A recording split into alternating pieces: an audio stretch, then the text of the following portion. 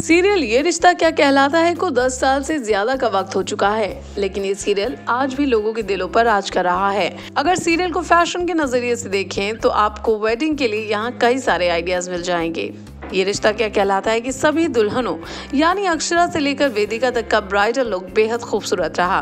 तो चलिए मिलते हैं शो की उन्हीं ब्यूटीफुल ब्राइड से। नंबर एक, अक्षरा सिंघानिया। वैसे तो इस सीरियल में अक्षरा सिंघानिया यानी हिना खान कई बार ब्राइडल लुक में दिख चुकी हैं, लेकिन हमारे लिए उनका पहला ब्राइडल लुक ही फेवरेट है। नंबर दो नायरा। अक्षरा की बेटी नायरा की शादी कार्तिक के साथ होती है।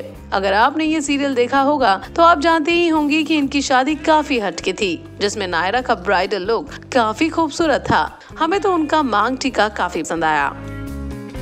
नंबर तीन कीर्ति। सीरियल में कीर्ति की शादी अक्षरा के बेटे नक्श से होती है। तो ज़ाहिर सी बात है कि डायरेक्टर बाबू इनका ब्राइडल लुक स्पेशल तो रखेंगे ही ना। नंबर चार गायु उर्फ़ गायत्री। इस सीरियल में गायु नैतिक की भांजी होती हैं, जिनके ब्राइडल लहंगे के ब्लाउज की स्लीव को लॉन्ग रखा गया। और टॉप टू बॉटम रेड ही रेड है। आपको बता दें कि शुरू में इन्हें कार्तिक से प्यार हो जाता है, लेकिन बाद में पता चलता है कि कार्तिक और नायरा एक दूसरे से प्यार करते हैं और फिर कहानी बदल जाती है। नंबर पाँच, मानसी। मानसी कार्तिक के चाचा की बेटी होती है। मानसी के ब्राइडल लुक में चौड़ी माथा पट्टी को काफ़ी हाईलाइट किया गया है। इनके लहंगे का कलर गोल्डन है। और नंबर छह, वेदिका।